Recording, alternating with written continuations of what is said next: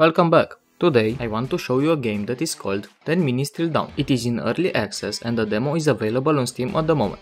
10 Minutes Till Dawn is a shoot 'em up, 2D, roguelike that has similar mechanics to Vampire Survivors. The goal of the game is to stay alive for 10 minutes while fighting hordes of Lovecraftian inspired creatures. The game will get longer when the official version is released and will be called 20 Minutes Till Dawn and hopefully it will give you more things to do because the combat feels really polished and smooth.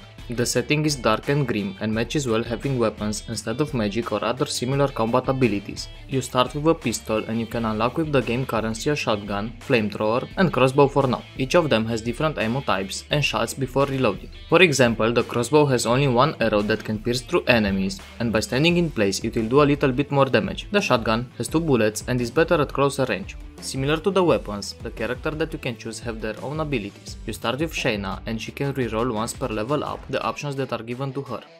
Every character has their own number of hits that are able to take until they die. She has 3. Then you can unlock Diamond that starts with 6 HP and I think is the best at the moment because she can forgive some of your mistakes by having such a big HP pool. There are 2 more characters that can be obtained in the demo. One is Scarlett and her passive lets her throw a fire wave every 3 shots. I think the flamethrower weapon suits her the best. Then we have Hina that can summon a shadow clone while dashing out of her last location, and there remains the clone to attack 3 times around her and slowing all enemies that are hit. Please support me in the fight with the algorithm master and let's drag it down together by shooting like buttons in his face. It will also help the video reach more people and they will be aware of this great game. Thank you in advance. Like this roguelike genre that is emerging because of Vampire Survival, you level up by picking experience orbs from the ground and for each level you are capable to choose one upgrade either in a form of passive or an ability. Because this game has an ammo capacity for each weapon, you can increase that or your reload speed. You can also increase the number or the projectiles shot per fire. Other passive upgrades give you more HP, more movement speed and fire rate. In terms of abilities, you can find a magic knife that will follow the enemies around the map or a little ghost that it is attached to you and shoots bullets. Other upgrades are in terms of what your bullets can do. For example, you will be able to freeze the enemies, shoot a lightning every 2 shots or have a chance to burn them. Each bonus have some upgrades to them too. If you pick the magic knife, you can add one more to it and the side that will circle around you. For the Phantom, you would be able to make it shoot more bullets and for the Thunder, you can choose to give a chance to refund 3 bullets and to summon a little lightning bug that shoots at the enemies. You can have a shield that gives you movement and reload speed, or you can make your bullets pierce through enemies, shoot behind you, or bounce from them. Some upgrades let you explode the enemies into more bullets, or each time you reload, you either have more damage or a bullet barrage that knockbacks everything in a 360 degree area.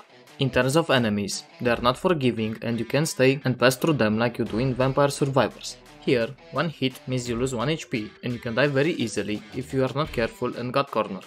Once every few minutes a boss or mini boss will appear. This demo has one mini boss and a boss that will arrive at the 5 minute mark. It is a deer-like creature that runs at you very fast and sometimes can be hard to dodge. If you manage to kill it, the reward will be a tome that gives you very increased stats like infinite ammo, but your damage is lowered exponentially, or it can give you a lot of damage but lower fire rate. It can also give you more summon damage with the cost of normal bullet damage. Before we jump into the conclusion, if you found any value in the information I provided and like the content overall, consider subscribing. This channel will be all about RPG type games, roguelikes, Metroidvania, or anything that lets you create and experiment builds.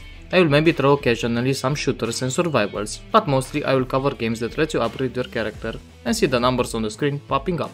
You can support me into making more content by accessing the Patreon page. I want to be able to at least pay my rent from this side hustle hobby, and maybe one day I will be able to quit my job and follow my passion and show the world some great games and fun builds into each specific one. Also, comment if you managed to reach this part of the video.